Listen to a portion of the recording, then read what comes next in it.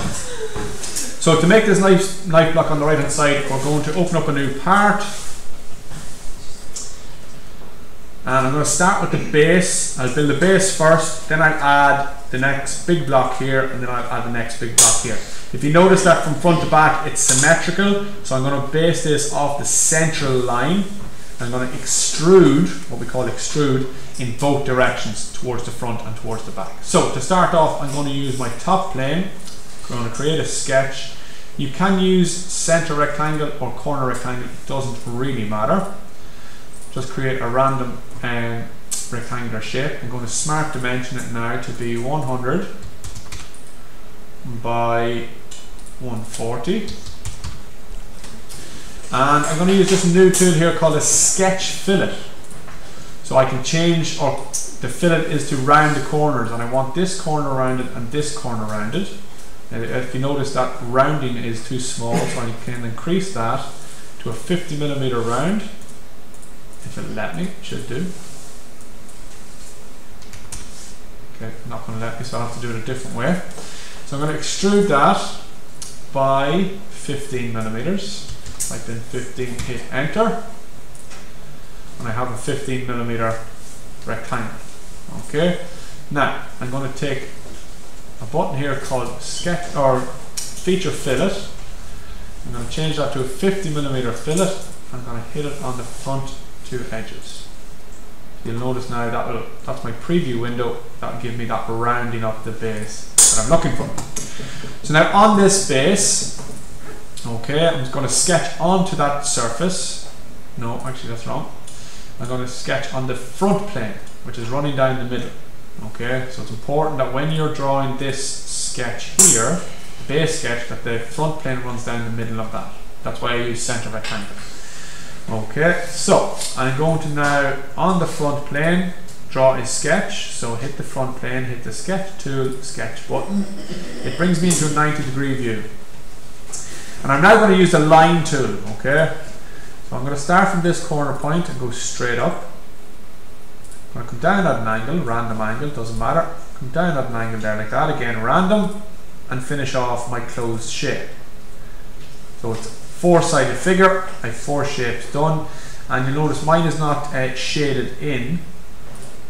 If you want it shaded in, there's a little button you can press called Shaded Sketch Contours, and it shows you that you've got a closed shape. It can be handy sometimes when you're drawing. So I'm finished with that. Now what I'm going to do is I'm going to make this and dimension it according to the drawing on the right hand side.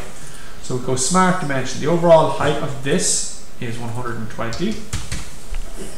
Type it in, hit enter. From here to here horizontally is 65. Vertically it's 30. So I click that point and that point. Come out horizontally. Okay, tap or click and type in 30. And then at the bottom point here is 40 millimeters. So I'm going to smart dimension to make this 40 millimeters. And you notice my shape has turned black. Fully dimensioned, all fully done, can't do anything more. Okay, I'm going to get a little 3D view of it here, and then I'm going to go to Features, Extruded Boss or Base. You should see this in 3D for me. So now, the thickness of that from the front to the back is 80 millimeters. Go to the 80 millimeter, type it in, but you'll notice it's coming forward too much. Okay, I want it equidistant to the front and to the back. So I change that to mid-plane, which means where I drew it is going to be middle in the middle of the object. So I can go front and back by 80 millimeters. Confirmed. That's that first block done. Okay. Then I'm going to do this other block here in the same um, same idea. So front plane, sketch tab, sketch button, use the line tool. And I'm going to draw from this corner point up. Again, I don't know what the measurement is yet. I'm not too concerned. I'm just going to draw my random shape and get it roughly to where I need it and get a four-sided figure so that it's closed off and it's shaded in that area. Now I'm going to insert the actual dimensions that are required. So I go to Smart Dimension. Between that point and that point in a horizontal measurement is 20 millimeters. This vertical line is a 40 millimeter measurement. So I click on that, move it out, type in 40. and then in a horizontal measurement from there to there is 50 millimeters. So I click that line, move my dimension out of the way, click again, type in 50, hit enter. The whole shape has turned black. I cannot tell it anymore.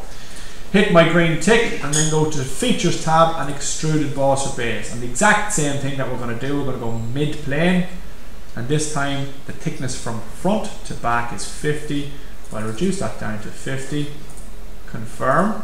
Your knife block is complete. The only thing I need to change is the color. So I'll go to my appearances. I want it to be plastic, high gloss, drop any random color onto it. So yellow is a million miles away from pink. I want it on the body or the full part, either of those two work, it doesn't really matter. And then I want to change it to pink. So I'll right click, edit my feature, change the yellow, and choose pink over here in this corner. And probably a little bit lighter than that maybe. That's probably better. Confirm the tick, hit F on the keyboard, spacebar, get your view, and that's your knife block complete. Okay.